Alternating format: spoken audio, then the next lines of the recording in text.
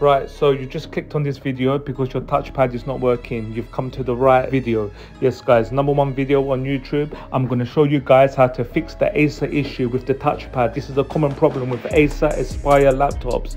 5231, whichever model you got, it works on every Acer laptop. Okay, stay tuned. First, we're going to test out one basic function to see maybe perhaps it could be the issue.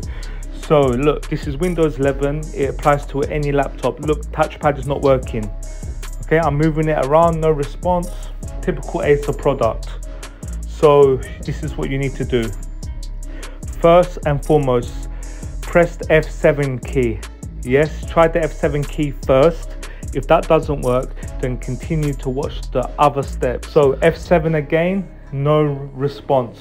So okay, so look, it's not working. So stay tuned guys and I'm going to show you what to do.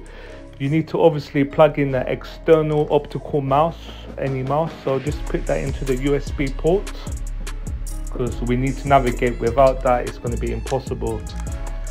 So once that's in, you need to go to device manager. So yes, in the search bar, type in device manager. Can you see it's the top one there? But obviously you will not have this because already searched for it. So you need to type in here device manager just like this. Okay so this is all your hardware breakdown. So this is what your problem is guys. Here. Can you see it's yellow got a warning sign. So it's not working it's not functioning. So if you go to properties can you see the device cannot start code 10 this is your problem. This is where your problem lies guys and i'm going to show you how to rectify this issue. Can you see here? Serial io outdated driver 2 2006 See, what generally happens is when Windows 10 or 11, any version of Windows does an update, automatic update, sometimes the drivers get rewritten. So it puts another driver on there and it clashes and the other one gets uninstalled. Right, so we've diagnosed the problem. Sometimes in that device manager, it does not show up that there's a warning that there's a problem. So continue to the next steps. So you need to connect to the internet.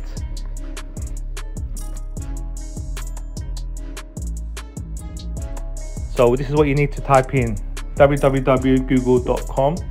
In the search bar, I want you to type in Acer drivers here. Okay, so it's going to be the first link. Click on that. Now identify your Acer device. So there's numerous ways of identifying your Acer device with the serial number, with the model number. So I'm gonna cut and paste it because I already copied the, the model number so this is the laptop. This is the make and model.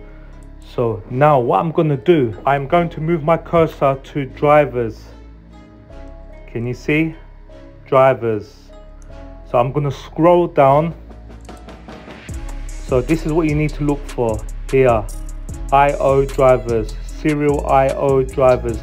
This is the one you need guys. So you need to click onto the download link let that download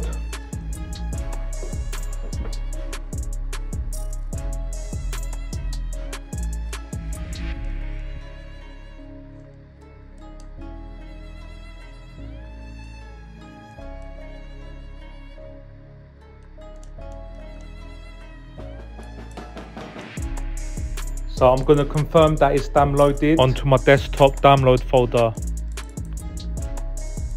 This is it the folders here. So I need you to install this driver now. Scroll down until you see setup serial IO. What I need you to do is double click on that file and install that driver. Select run.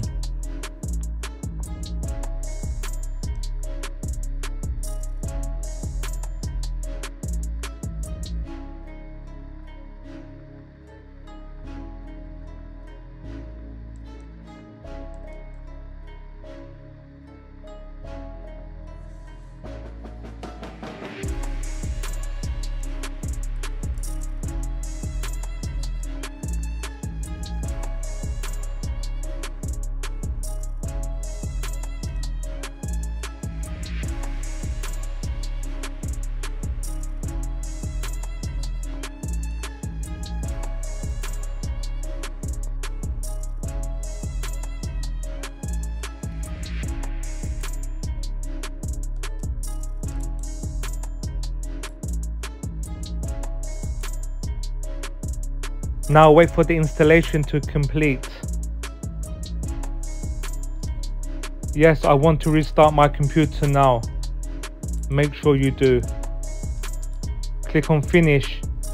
Now your laptop or PC will restart and then it's going to be moment of truth.